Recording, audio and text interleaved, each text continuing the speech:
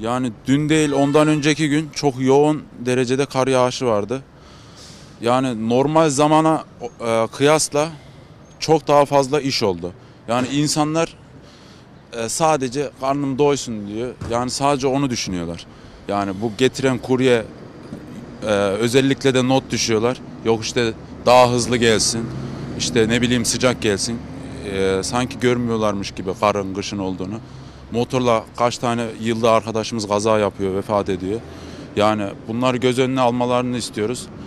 Yani e, siparişlerinizi verirken biraz daha vicdanınızı yani öne koyarak şey yaparsanız bizi de düşünmüş olursunuz, memnun oluruz.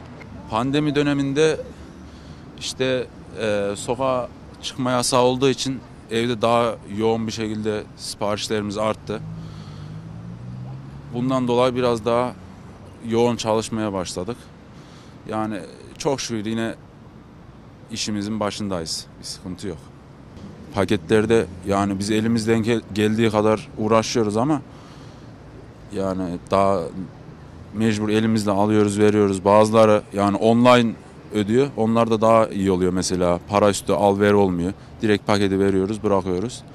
Yani online'ı biraz daha tavsiye ediyoruz pandemi sürecinde. Yani daha çok kendimizi düşünüyoruz aslında. Onları hani kışta birçok motor kazası oluyor. Yani onlar e, yemek getirirken falan. Yani pek düşündüğümüz söylenemez. Yani daha çok kendimiz için düşünüyoruz. Öncelikle restoranın yorumlarına, daha sonra puanlarına, önceden sipariş eden kişilerin nasıl yorumlar yaptığına bakıyoruz. Onun haricinde gelen kuryenin nasıl tavır aldığına, nasıl bir hızla getirdiğine bakıyoruz. Özellikle kış dönemlerinde mesela kuryeler geç getirdiği zaman ben asla ses etmem. Ama yaz döneminde tabii bazen şeyler oluyor, restorana şikayetler falan ama özellikle kış dönemlerinde hiçbir zaman şikayet ettiğim olmadı kuryelere. İlk dikkat ettiğim nokta kullanıcı yorumları oluyor. Genelde kuryenin e, kim olduğunu, kuryeye yapılan yorumlar veya gelen hızlar, hani nasıl bir hızla geliyor, lezzetler nasıl ve restoran puanına bakıyorum. Sonra e, yemek önceden yediğim yerlerden daha çok sipariş etmek istiyorum. Çünkü temizlik, titizlik sorunları olabiliyor. Bilmediğim yerden yemek istemiyorum. Tabii kış dönemlerinde de e, uzak noktalardan getirmemeyi tercih ediyorum. Çünkü e, kuryeler de biraz sıkıntıda bu dönemde. Çok sipariş geliyor. Çok fazla istek var ve uzaktan getirmemiz de uzun sürebiliyor. O yüzden şikayet etmemiz de gerekiyor. O zaman şikayet etmemek için de uzak yerlerden değil de yakın yerlerden gelmesini tercih ediyorum.